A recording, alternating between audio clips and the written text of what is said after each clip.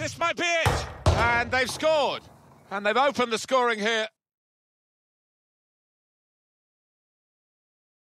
When he hit it, I think he might have been worried that it would go over the bar, but it was below the bar, certainly off the bottom of the bar and in. Yeah, I'm not sure whether he actually meant to